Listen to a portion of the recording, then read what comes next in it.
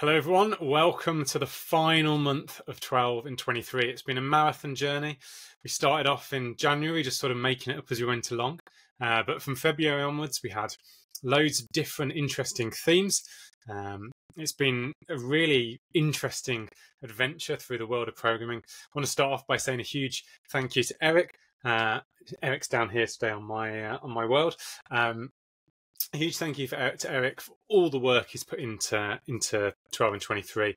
Uh, these videos, I know he's put tons of work into making sure we've got exercises uh, for all of the months. Thank you to everyone as well that's helped him with that. There's been a little team of people who have been going through um, month by month, uh, making sure we've got the right exercises. It's definitely been a big team effort, but uh, yeah, Eric, you've put a ton of work in, so I know everyone's really grateful for your work on this. But yeah, thank you from me as well.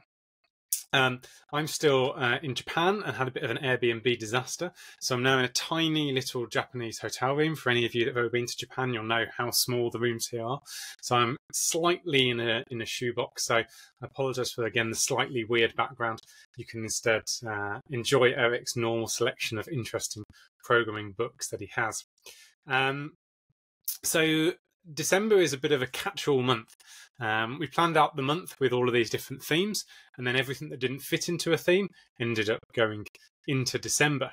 So here we are. It's a bit of a random month, and we have uh, five languages this month. We have Cold Fusion, Groovy, Lua, VimScript, and Wren. Um, so they don't have a, a, lot in common. This video is not going to be sort of looking at five similar languages and looking at how they're separate. It's going to be five very different languages. Um, but hopefully that means there's something for everyone, whatever your interests are. Hopefully there's a language out of one of those five that, that piques your interest a little bit. I know from my perspective, uh, we've used Wren at Exercism um, and really liked it and thought it's great. I'm also a Vim user, so I've done a bit of Vim script and things in the past. And I've also played around with, with Lua as well from some gaming stuff in, in, in the olden days. Um, but I've never tried Cold Fusion or Groovy. I know nothing about either of them, so I'm looking forward to learning something from you, Eric, in this video as well.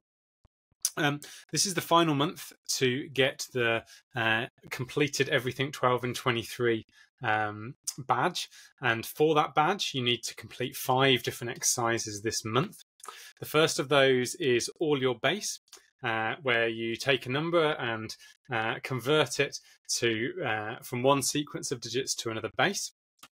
Um, then there's flatten array, where you take a nested collection and return a single non-nested version. Then we have queen attack, where you have to determine whether two queens on a chessboard can attack each other or not. Then we have D&D character, where you generate random um, Dungeons and Dragons characters. And finally, we have run length encoding, where you implement run length encoding and decoding. So those are the five exercises for the 12 and 23 completion badge. Um, we just have we, have we deployed that, Eric? I think we just deployed that a few minutes before we started we this, we so should be able to uh, to get that from now. But there's also the normal just um, Divember, December diversions badge, um, which uh, we just put together and just launched as well. So um, for that, any five exercises in any of these languages count towards that. Good. I think that's all the information. Um, so I think we should just dig straight into uh, into this. So Eric, do you want to start off by giving us an introduction to the languages uh, and starting off with Cold Fusion? Right. So Cold Fusion was created in 1995 by Allaire Corporation, who were then bought by Macromedia in 2001, who were then bought by Adobe in 2005. So it's now an Adobe product. It was designed as a rapid web development platform. It's a bit of it was um, released at the height of the the internet uh, bubble, uh, etc. But uh, rapid web development was uh, was really a thing there, and Cold Fusion tried to to fill that that gap where people just wanted to build web apps without having all the required knowledge. Then um, Cold Fusion runs on the JVM, so uh, it's a JVM language.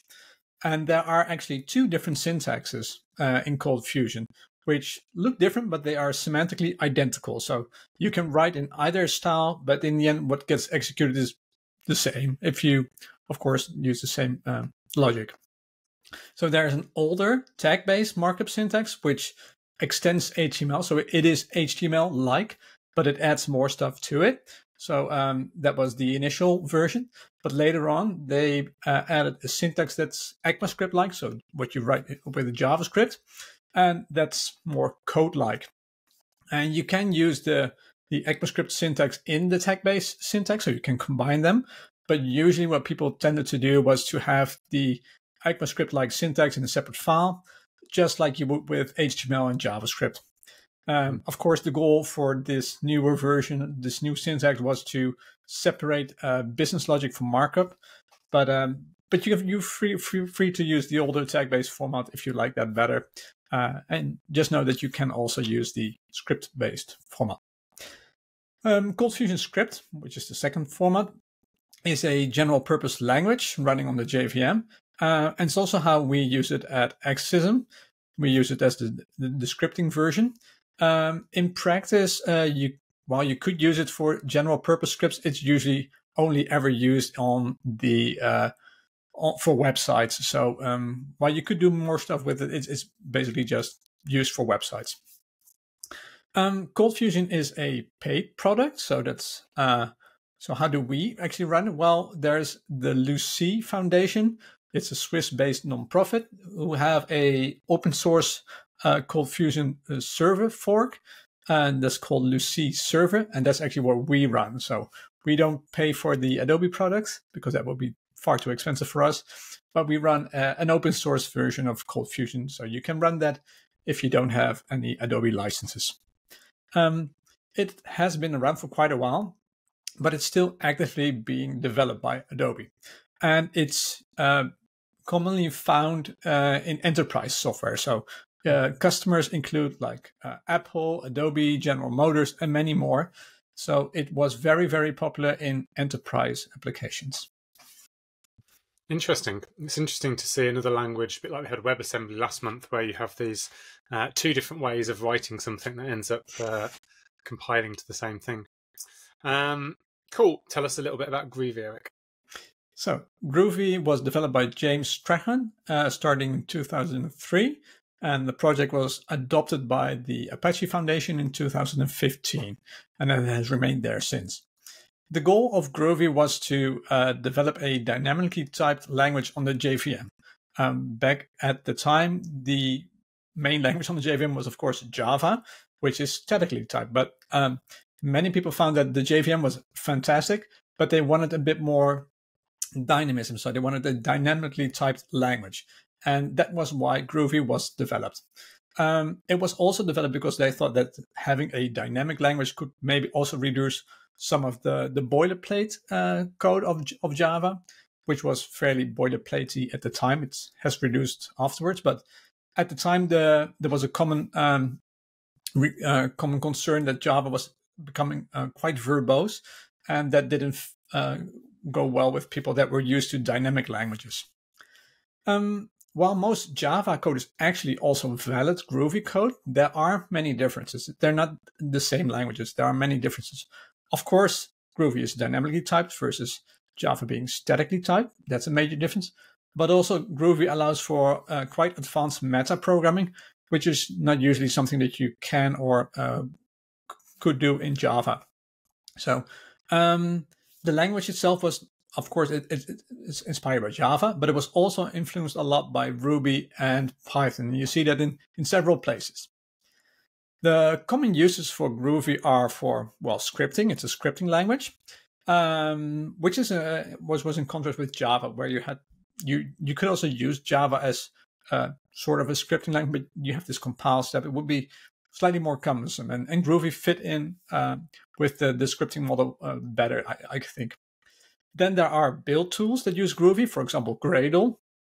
Um, we use Gradle in, I think, both the Java and the Kotlin track, and probably also the Groovy track. um, we use Groovy is used in CI, so Jenkins. It's a somewhat older CI platform. I, few people use it, but it's it was used there.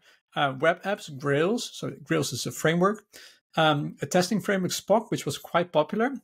And um, many of the Atlassian tools support a third party add on that allow um, functionality to be added via Groovy scripting. Really interesting. Um, I learned a lot there. Thanks, Eric. Um, what about Lua? Tell us about Lua. Right. Uh, Lua was created in 1993, so just a couple of years before that, um, by Roberto Limschi. Sorry if I butchered that. Uh, Luis Henrique de Figueiredo and Waldemar Celes at the Pontifical Catholic University of Rio de Janeiro in Brazil. My Portuguese is awful, sorry. Um, the name is pronounced Lua, which means moon in Portuguese. And it's actually a reference to another language called Sol, which uh, actually means sun in Portuguese. And Sol was an inspiration for Lua. So sun, moon, get it? Um, the primary um, design goal for Lua was to have a language that was great for embedding. So that means, what does embedding mean? What means that if you have a, a different programming language, a different um, application, you can actually include Lua in your application. So, uh, and then you can run Lua code within your application. So it's not like it's the primary language; it's sort of like the secondary language, but it's completely contained in your language. And um, to be able to be great for embedding, there was a focus on speed, portability, extensibility, and ease of use in development. The language itself was inspired by Sol, of course, but it was also inspired by Modula, CLU, C++, SNOBOL, and Awk. And another great inspiration was uh, how Lisp uh, and Scheme in particular have a single ubiquitous data store, in that case, uh, the list. Uh, and Lua adapted that to uh, to the language in that they also have a single ubiquitous data structure, and in this case, it's a table. So um, that is something that they uh, that is quite uh, similar to Lisp-like languages. Lua is um, interpreted via bytecode, usually whilst running, but it can also be done afterward, beforehand. So you can pre-compile your code to bytecode, which makes it uh, faster to run. Uh, and it's primarily used for scripting purposes, which fits with the embedding uh, design goal. Um, examples where Lua is being used is World of Warcraft, uh, Dota 2, Crysis, so those are all games, but also applications like Adobe Lightroom, some free BSD system software, and also applications that have used Lua to allow for um, them to be extended, like uh, Redis, NeoVim, and Nginx. Interesting. Um, yeah, uh, the idea that everything has is based around a table is interesting. I'm sure you'll tell us more about that in a little bit. Um, what about VimScript? Um, VimScript um, is also called VimScript with a space, or VimL, which is, stands for Vim language. Is uh, it's the scripting language of well, you guessed it, of Vim, the text editor. It was derived from ex, which was a line-oriented visual editor that preceded VI, um, and it's not a general purpose language. Most languages that we've seen here is uh, within the series were uh, general purpose languages, but VimScript isn't. It's uh, a very specialized one with just a single purpose to um, to extend and customize Vim. So that's that's quite different. Um, but in doing so, it can actually be uh, quite a nice language because it can uh, just cut away uh, everything that isn't important to Vim. So you have a very focused language, a very specialized language that does what it does very, very well. And you can extend um, Vim via plugins. Um, you can have configuration files in VimScript, macros, functions, you name it. Um, Vim itself is primarily written in C, but um, you don't have to know C to be able to extend Vim because they have VimScript. So VimScript you can see as it's an alternative to writing C. So um, C is low level ish, uh, whereas Vim, VimScript is somewhat higher level and uh, more spec- specific to Vim. So um, it should be easier to to write these plugins, although you can do that in C. Yeah, well, where is it used? Well, you guessed it, in Vim. But there's also a thing called NeoVim, which has been uh, getting a lot of traction lately, and that's actually a fork of Vim uh, with the goal of being the best uh, IDE out there. And uh, it's quite popular, but it also supports uh, VimScript. So uh, if you are a NeoVim user, this isn't just for Vim, it's also for NeoVim. If I remember rightly as well, NeoVim supports other scripting languages, and that's It one of the things that's different. I can't I remember think what they. where's Lua? Yeah, it is. I think it's Lua. Yeah, so there you go. You've got a choice. You want to do Vim scripting, you can choose between Lua or VimScript. Um, and then finally on to Wren, which is the most modern of our languages, I guess, and also created by someone that we both appreciate the work of. True. Uh, Wren was written in 2016 by Bob Nystrom, the author of the Crafting Interpreters book, which is somewhere uh, in the back. Um, its goals were to uh, have a language that is small, simple, and fast. And um, like Lua, it was designed to be embedded in other applications. And the author looked at existing languages like Lua and, and Tcl, uh, but the author found them slightly lacking. And he wanted to have a, a simple embeddable language that would feel natural to people with an object oriented background. And that's not something that Lua and, and Tcl um, are, are the strengths of those languages. So he felt like maybe building a new, simple language that is uh, very object oriented, uh, like at least. So um, that would be easier if you come from such a background to to start out with the language without having to learn, I don't know, different things. The way, for example, those tables in Lua. Um, so where is this used? It's used in um, TIC80. Uh, if you Google it, you find it's like a a, a, a, toy computer where you can make and share tiny games. Um, there's Dome, it's a cross-platform framework for making games. There's a Luxe, which is a cross-platform rapid development gaming engine. So it's all game related. And then there's the Wren console. That's actually a, a fork of the Wren um, REPL. So um, it was built by long-term Exercism contributor Josh Goebel. Um, and it has REPL support, so you can interactively run your code, but it's also a CLI, and um, we use it extensively in the Wren, Wren track because Wren um, by itself didn't offer everything that we needed, like a package manager. I think Josh built that too uh, from scratch, so that was an amazing engineering effort by Josh, and I think he even wrote it in a, like a weekend or so. So, Josh, if you're watching, kudos. Uh, you've you've done a fantastic job there.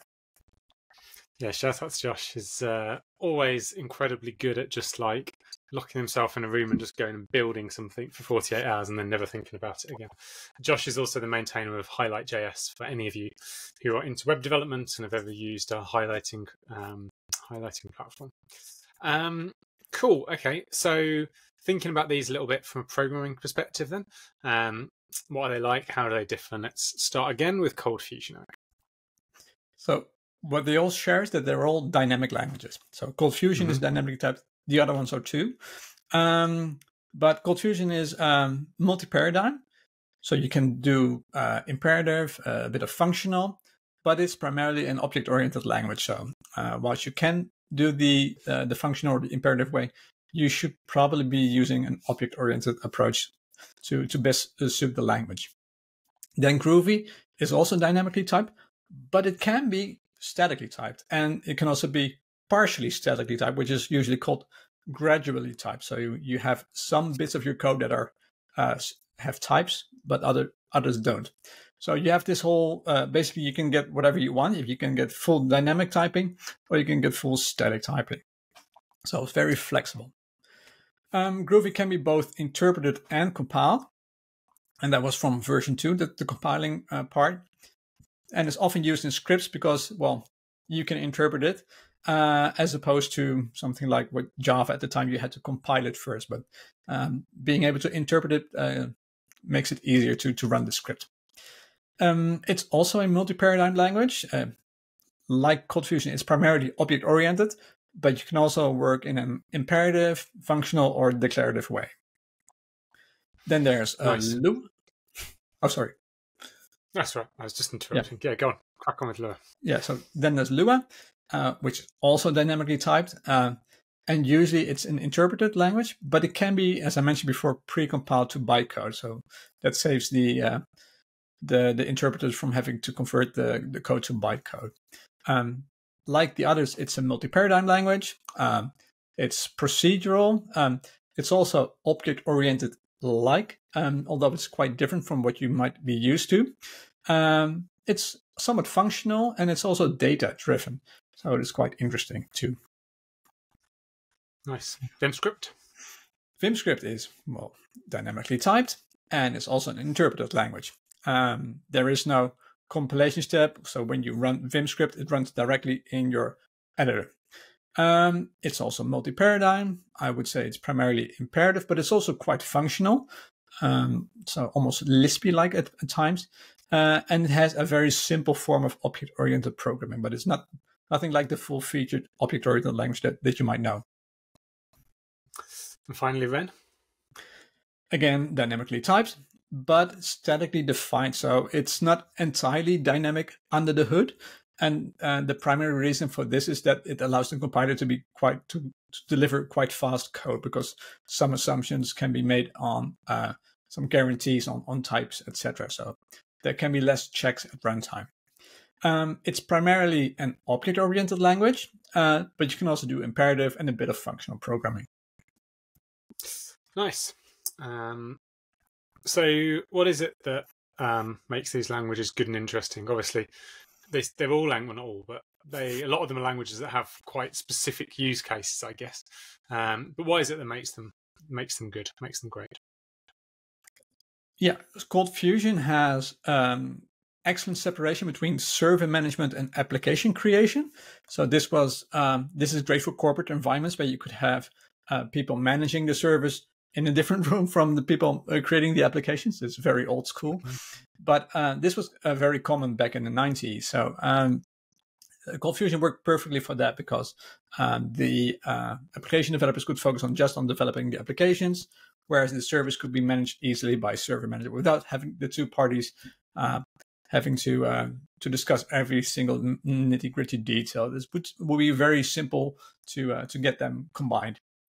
Um, Cold Fusion also leveraged the power of the JVM and the Java ecosystem, which means it runs on a very stable, highly performant virtual machine, and you get access to all the Java libraries that you um, that are out there, and you can use them within Cold Fusion. Groovy. Um, Groovy is a very general purpose language, so it can be used for almost any workload, including building apps or websites um, and scripts, of course. It also runs on a JVM, so once again, you get all of the benefits that you get from running on a a, a big virtual machine. So performance, a massive number of libraries available, and Groovy was always intended to interrupt very well with Java. So the the the interrupt scenario for uh, Groovy and Java is very very good. Um, another great thing about Groovy is that it alleviates many of the issues people might have had, or uh, at least at the time, uh, with Java, such as Java uh, has checked exceptions. Groovy doesn't. Um, there's no safety in Groovy.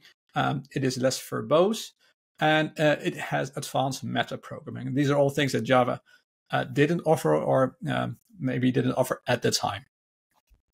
Groovy is also a quite modern language, so you get advanced type inference, you get closures, you get built-in syntax for regular expressions, you can auto-generate getters and setters, so uh, it has a lot of uh, nifty things that make it feel like a very modern language. And then uh, the last great feature is that it has great functional programming support. Uh, so it has closures, which are like Ruby's blocks. Um, it has currying, so you can get partial application via that. Uh, things can be lazily evaluated, so that's a, great way of saving a bit of performance or working with um, infinite uh, data structures. Um, you can get immutability, and there's much more. So Groovy is also a great functional language. Nice. Um, I like the way you describe uh, the functional elements and reference Ruby. Um, I feel like Ruby's increasingly used functional stuff nowadays, which is definitely not how it started out. Um, Lua? So Lua is also a general purpose language, so you can use it for embedded systems, prototyping, scripting, uh, web development, backend development, games, you name it. So Lua can, Lua can be used for tons of different purposes. Um, another great thing is that it's quite a simple language. It has relatively little syntax, which makes the language easier to learn. Um, for example, it has just a couple of atomic data types and just one composite data type, which is the table. So you don't have to learn a gazillion different data types. Uh, there's just a couple, and that makes it very easy to learn. Um, like many modern languages, memory is garbage garbage collected, so you don't have to worry about that too. So all in all, Lua is quite a simple language. Um, Lua is also a very portable language, so that means that it can run on a, a, wide variety of platforms. And this is mostly due to the fact that the interpreter is written in ANSI C, and ANSI C basically you have a compiler for ANSI C on almost every platform you can think of. So you can run Lua virtually anywhere. Nice. Uh, VimScript? Uh, VimScript is quite a simple language, so it has uh, lightweight syntax that is easy to learn and use. And that, of course, makes sense because it is such a focused language. Um, it also has great interoperability with uh, this, its surroundings, so you can easily access files, uh, access the shell, other run other programs, etc. So you get all the power of all the external tooling around Vim uh, without even leaving Vim.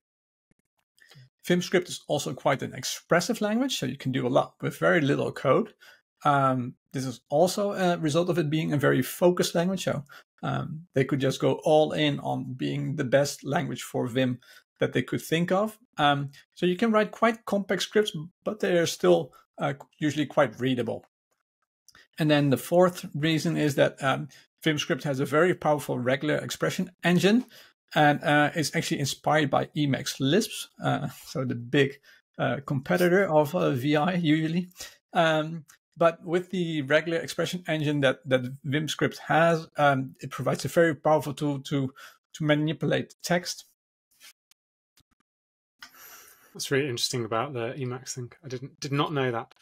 Um, I would have sort of expected that one would refuse to be inspired by the other. It's good that there is some uh, some some love and friendship still happening in the world of open source. Uh, finally, Wren. Um, so one of the great things about Wren is that it's very small. So the virtual hmm. machine is implemented in about 4,000 lines of code, which is not a lot. Um, it's also um, an exemplar implementation of a language. So the if you look at that uh, virtual machines implementation, the code is quite well uh, commented. So for example, if you look at where um, floating point number handling is defined, you get a huge comment that specifies what uh, what the, the floating point implementation in Wren looks like and what things you have to keep in mind and uh, all the nitty gritty details are there basically. So um, if you ever um, want to write a language, um, you can actually look at Wren and its virtual machine and also the standard library itself. It is written in Wren. so you can quite you can also see how you would write like a standard library. And it's also uh, just an interesting way to see how how do you build a language. Um, mm. You do have to know C because it was written in C, but if you know C, um, it could be very very uh, interesting to uh, to read that source code and to um, get an appreciation of both how complex and also at the same time how, how relatively simple it can be to to build a language. Um, then the, a third great point is that um, Wren is, has quite familiar syntax. So if you have uh, familiarity with Java, C++, or any other object-oriented language, you'll feel right at home with Wren. and that makes it uh, a great way to get started with the language because you get to use all the concepts that you already know. Um, one an interesting thing is that um, Wren allows method overloading by arity. So that's the number of parameters. And that's something that you also see on, on Erlang platforms and Elixir, etc. Um, Wren also has really good documentation. So the language itself and the standard library are all uh, well documented, which the documents are easy to read. They're quite extensive and they have a lot of examples. So that's always a, a great boon when you're trying to learn a language. And then uh, lastly, the standard library is is small-ish, but it's actually quite complete. You don't miss that much, especially if you uh, use what Josh has written, and because he added some some nice stuff there too. So, um, so yeah, that's that's Wren. Cool.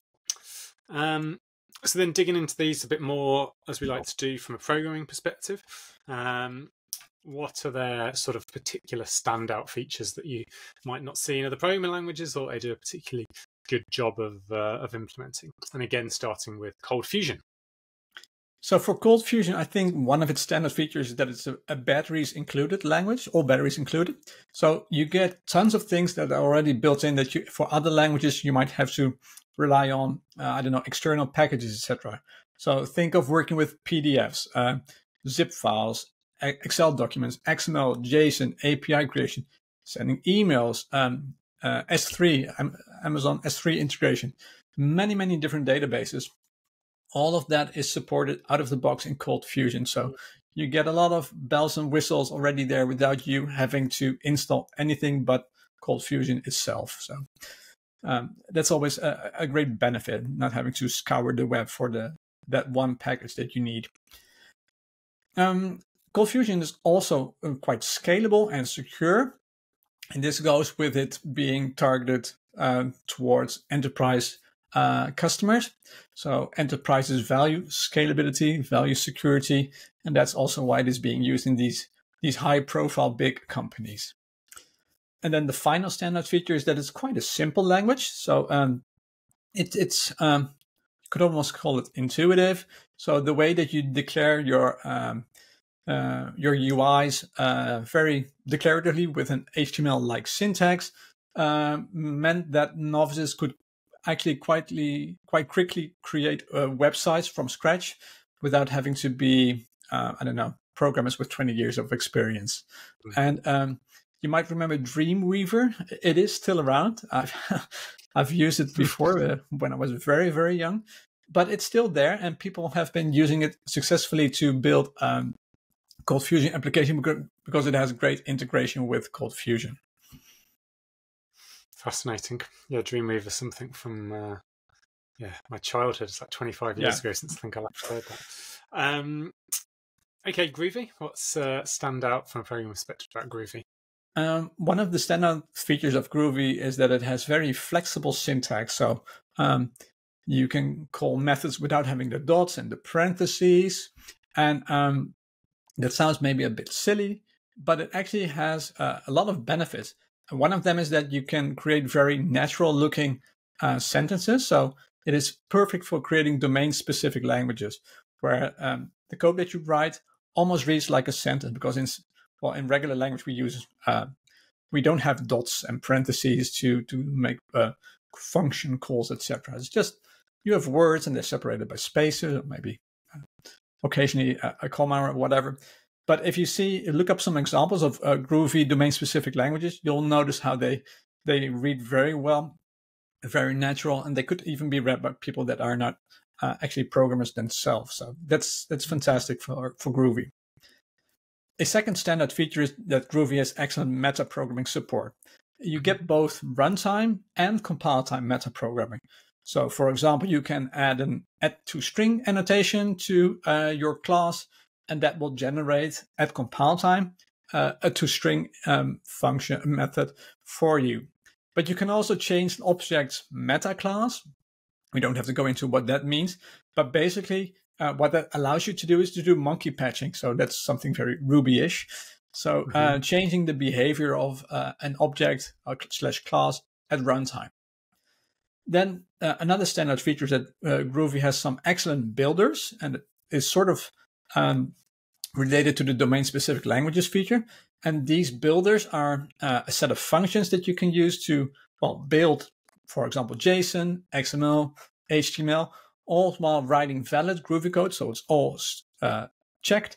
Um, but it still reads very well. And this is an, a very easy way to, to build those documents uh, without having to um, do string manipulation.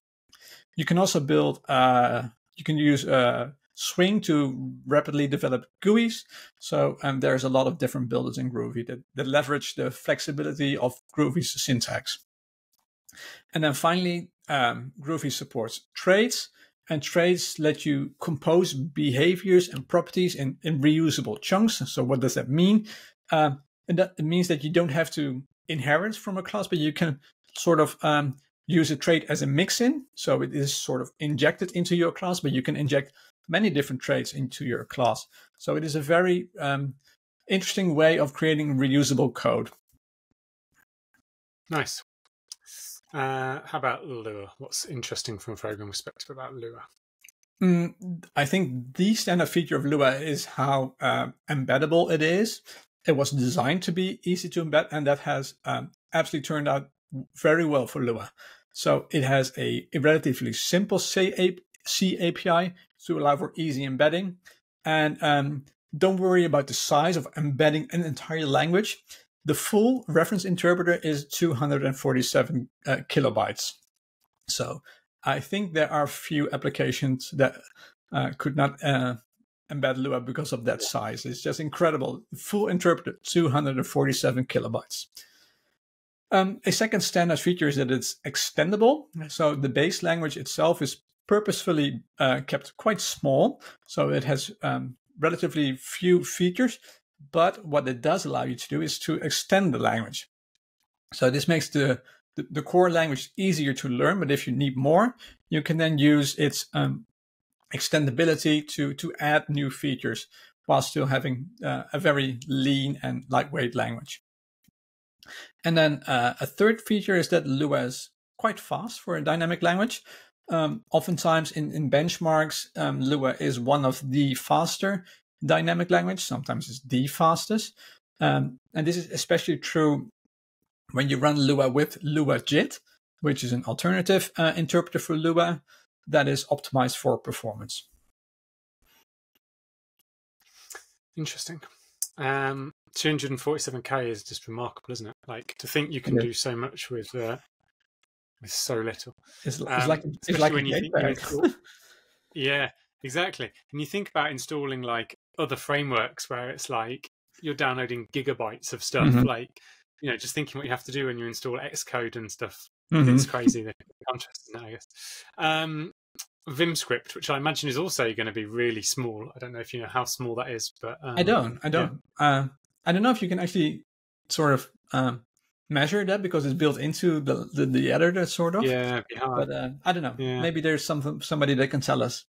Um, the standard yeah. features of VimScript that I would like to mention is that it's very extensible, and uh, with that I mean mm-hmm. the editor is very extensible. So you can use VimScript to basically customize anything uh, about your editor, and it will apply immediately. So you can get basically full control over your editor via code. And that's, that's something to, to really appreciate if you've been a, a long time Vim user, how, how powerful this uh, customization can be.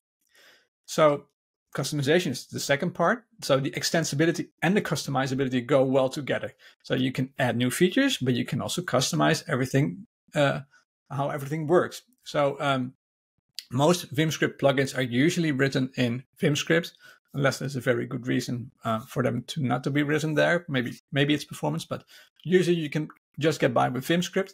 But this extensibility and customizability basically means that you get full control over your editor in code. Then there's um, VimScript being event driven, which means that you can write code that is only executed when certain events or conditions occur. Um, and these events could be like um, when a file is opened or a buffer is saved or whatever.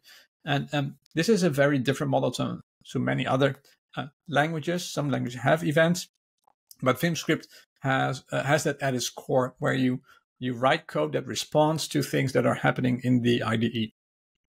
And then finally, um, VimScript allows you to access all the power of Vim itself. So all Vim's features and APIs uh, are available to you, which means that you can manipulate text, you can manipulate buffers, windows, whatever. Uh, anything that Vim can do, you can do in VimScript. Nice. Um, cool. And then finally on to Wren. Um, Wren's standard feature is probably that it's very fast. Like Lua, it is uh, a dynamic language, but with great performance. So for a dynamic language, Lua of uh, Wren has uh, excellent performance, usually um, around Lua. Um, it's also a very embeddable language, like Lua. So um, the language creator was a former game de- developer, and uh, Wren was partially uh, built because uh, the author wanted to have a language that was easy to embed in languages uh, that embed in games, which is also why um, the listing of the places where Wren was used had a lot of games. Um, it has a very uh, clean and simple C API, so it's also quite small. So basically, it is uh, an alternative to uh, to Lua uh, when comparing to it to being embeddable. So most of the things that, that hold for Lua also hold for Wren. Uh, what's different though uh, from Lua is that uh, Wren has uh, quite a good concurrency um, story in that it allows for easy concurrency via coroutines. Um, and these coroutines are called fibers in Wren, but they're a very lightweight construct. So they're not like threads. They're like um, Erlang processes or Go routines from Go. And um, you can easily create thousands of these without uh, the Wren runtime breaking a sweat. So, for example, if you have a game, you could have a fiber for every single, um, I don't know, NPC on your uh, on your uh, in your I don't know your environment. Uh, these fibers can also communicate with each other, and in general, the whole concurrency um, features, the, the, concurrency feature set of Wren is, is quite extensive and works very well. Nice. I can tell you've been playing Baldur's Gate, Erik, when your examples start coming from uh, NPCs in games. Um, I didn't even mention it with cool. the okay. character this month. um, so finally, then, uh, if someone's unsure which one of these to try in December, um, do you have any recommendations? How would you recommend they decide? Um, if you want to build web applications, I would probably go for Cold Fusion or Groovy. They're the most natural choices there. Um, if you are interested in embedding a language into another another language uh, or an application, you can probably best look at Lua and Wren. Uh, but you could also look at Groovy because it's also quite embeddable. Those same three languages, Lua, Wren, and Groovy, are also great options if you just want to write, well, general purpose scripts. Um, but if you're working with the JVM, you could probably best look at Cold Fusion and Groovy because they run on the JVM, so they would be natural choices. Um, if you value performance, I would suggest using either Lua or Wren because they they are specifically designed to be quite performant. Then, of course, if you are if your editor is Vim or NeoVim, go learn VimScript and then uh, unleash all your your coding skills uh, and apply them to your editor if you want to learn about how what it is to build a, a language with a compiler and a virtual machine, of Wren is probably the best choice because of its um, its small-ish code base with which is nicely documented. Um, if you have an object-oriented background, um, Wren is probably the easiest language to work with. Um, mm-hmm. But if you like uh, like your Lisp, where you have a single ubiquitous data structure that is that permeates the entire language and the entire use of the language, go try out Lua with its um, table. And then finally, if you have never tried event-driven programming, check out VimScript and see how what it is to write code that is automatically run when certain events occur. Awesome, thanks, Erik. Um, thank you to everyone that's got to the end of this video. Um, I hope you've enjoyed this and all the introductions throughout the year, and I hope you've enjoyed 12 and 23 in general. Um, we haven't decided what we're going to do in, in 2024 yet. If we're going to do something uh, similar, something different, we might take a couple of months off just to um, have a bit of a break ourselves and then come back to it a little later in 2024. Um, but we'll be sure to let you all know. If you've got any ideas, there was a forum post out about a month ago. Feel free to drop on there and um, post any ideas or, or any thoughts you've got. But thank you for taking part. If you've posted comments in these videos, thank you for those comments. They've been really encouraging. Thank you again to everyone that's contributed exercises or ideas or bug fixes or just reminded me to update the badges on the forum each month for all those things. Um, hugely appreciated. We, we literally couldn't have done 12 in 23 without you. And again, Erik, thank you finally for all of the hard work you've put into this. Um, you've made this what it's been, and you know tens of thousands of people are, are grateful for all of your hard work in that. So thank you. My pleasure. I hope you all have a really enjoyable December. If you're celebrating Christmas or any of the other festivals and things that happen in December, I hope you uh, get some time off and get to enjoy those. And uh, I'll see you back in 2024. Bye for now.